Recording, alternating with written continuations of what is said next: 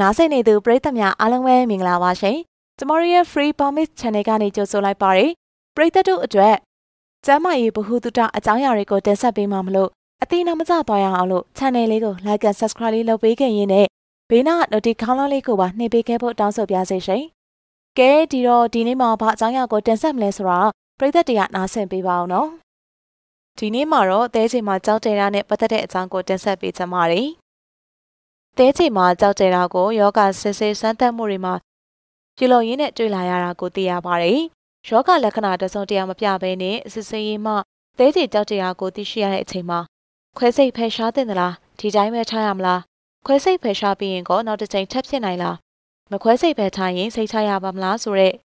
မိကုံမောင်းများစွာနဲ့တွေ့ရဖြစ်တတ်ပါတယ်။ဒါကြောင့်တဲချိန်ကြောက်ကြရနဲ့ပတ်သက်ပြီးတော့ပြည့်ပြည့်စုံစုံသိရှိစေဖို့အခုလိုတက်ဆက်ပေးလိုက်ရပါတယ်။ ကိုလက်စထရောအဆီတွေကြောင့်ဖြစ်လာတဲ့သဲချေကြောင့်သွေးနီဦးတွေပျက်စီးလို့ဖြစ်လာတဲ့သဲချေကြောင့်နဲ့ကယ်လ်ဆီယမ်နဲ့ဘက်တရီးယားရှောနေတဲ့သဲချေကြောင့်ဆိုပြီးတော့သုံးမျိုးရှိပါတယ်။သဲချေကြောင့်ဖြစ်တာရဲ့80ရာခိုင်နှုန်းက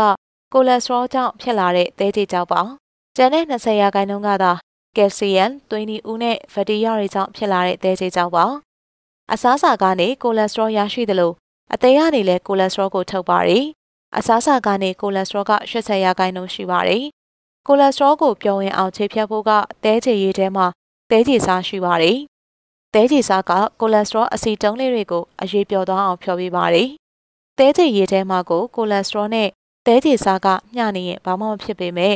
ကိုလက်စထရောကများပြီးတော့သဲချေစားကနည်းနေရင်အနေကြပါတယ်။ Black and brown pigment သဲချေကြောက်ကသွေးနီဦးတွေကွဲတာကြောင့်ဖြစ်တတ်ပါတယ်။သွေးနီဦးပြိုကွဲပြီးဖြစ်တဲ့သွေးရနယ်ယောဂ၊သွေးကင်ဆာယောဂရှိဘူးတဲ့သူတွေ အသေးချောက်တဲ့သူတွေမှာ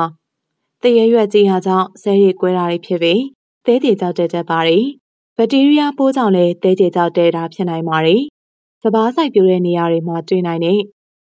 ကဘာကောင်ရဲ့သဲကျုပ်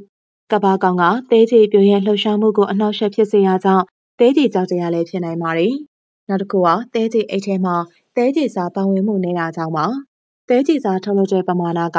တနေ့တာအတွက်မလုံလောက်ပါဘူး။ ဦးသိန်းကနေတဲကေစားကိုပြန်လဲဆုပ်ယူရပါတယ်။ဦးလန်းကျောင်းယောဂတစ်ခုခုကြောင့်ဦးသိန်းဖြတ်ထားတဲ့သူတွေ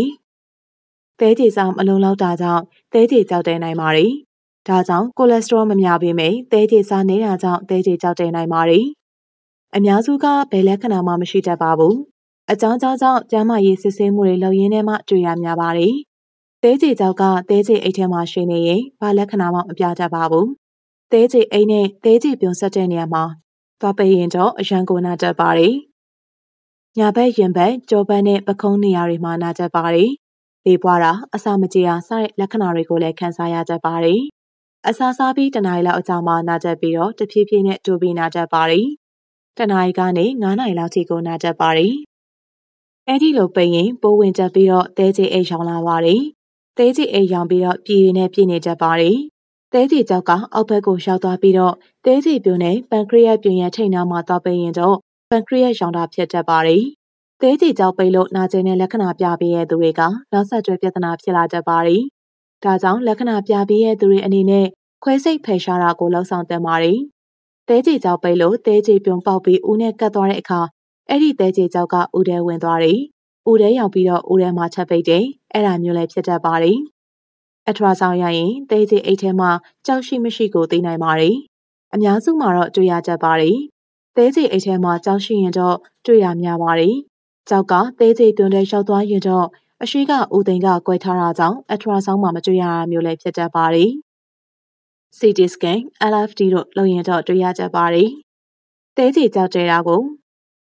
မူလတွေ့ရဲ့နီးလန်းမှာ ဆေးပေးပြီးတော့ကြောက်ချေရဲ့နီးဆေးပေးပြီးတော့ကြောက်ချေတာကနှစ်ရွှေဆေးပေးပြီးကုသရပါတယ်။ဆေးရက်လိုက်ရင်တော့ပြန်ဖြစ်ပါတယ်။ဆေးပေးပြီးကြောက်ချေတာကသဲချေအရဲ့လုပ်ငန်းဆောင်တာကောင်းရမယ်။ကြောက်အရွယ်စားသေးရပါမယ်။ခွဲစိတ်တဲ့နီလန်းကအပေါက်ဖောက်ပြီးတော့ခွဲစိတ်တဲ့နီပေါ်လာတော့အနာကျက်မြန်ပါတယ်။ဆေးရုံမှာတော့ကြကြမနေရပါဘူး။နောက်ပိုင်းမှာခွဲစိတ်တဲ့တန်ကလည်းသိမ့်မခံရပါဘူး။အရှင်ကလိုပဲတမန်ရိုးကြခွဲစိတ်ပြီးကြောက်ဖယ်ရှားတာမျိုးရှိပေမဲ့ အပေါက်ပေါက်ပြီးခွဲစိတ်ကူးတာကအာသာချက်တွေများပါတယ်။သဲချေကြောက်ကသဲချေအိတ်ထဲမှာပဲရှိနေတယ်။ဘာလက္ခဏာမှမပြသေးဘူးဆိုရင်တော့မခွဲစိတ်ပဲနေလို့ရပါတယ်။တချို့လူနာတွေကလက္ခဏာမပြပေမဲ့ခွဲခိုင်းတာမျိုးရှိပါတယ်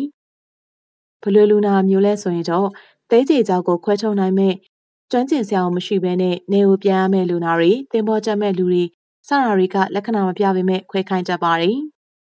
သဲကြေကြောက်တရားကိုခွဲစိတ်ဖယ်ရှားပေးပေမဲ့ဘက်တီးရီးယားကြောင့်ဖြစ်တဲ့ brownstone သဲကြေကြောက်တရားကနောက်တစ်ချိန်ပြန်ဖြစ်နိုင်ပါတယ်။သဲကြေကြောက်တဲ့လူနာတွေမှာလက္ခဏာမပြဘဲသဲကြေကြောက်ရှိနေတာအရမ်းနာတဲ့လက္ခဏာပြတဲ့သဲကြေကြောက်ရှိရတဲ့တချို့လူနာတွေကတော့သဲကြေပြုံပေါက်သွားတာပိုဝင်တာပြီးကျတာစားတဲ့နောက်ဆက်တွဲပြဿနာတွေရှိနေတာဆိုပြီးသုံးမျိုးတွေ့နိုင်ပါတယ်။ကာကွယ်မှုအနေနဲ့အစီတွေလျှော့စားရပါမယ်။သဲကြေကြောက်လို့ပြောတာအများစုကတော့အစီကျုံပါ။ ကိုလက်စထရောရရှိမှုနေတာကိုစားရပါမယ်။လူအများစုကသဲကြေကြောက်တယ်တာဆိုရင်ခွဲဖို့လိုလားမလိုလားဆိုတဲ့မိကုန်းကိုမေးတတ်ကြပါတယ်။တဆိုင်ယောဂါပြလို့စစ်ဆေးရမှာသဲကြေမှာကြောက်တဲ့နေရာကိုတွေ့ရဆိုရင်တော့မူလရည်ရွယ်ချက်သဲကြေကြောက်တဲ့တာကိုကုသဖို့မဟုတ်ပါဘူးသေးကြီးကြောက်ကလည်းဘာဒုက္ခမှမပြီးတော့ခွဲစိတ်ကူတာဖို့မလိုပါဘူး။ခွဲစိတ်ရမယ့်လက္ခဏာတွေပြပြီးဆိုတော့မှခွဲစိတ်ကူတာကြပါရရှင်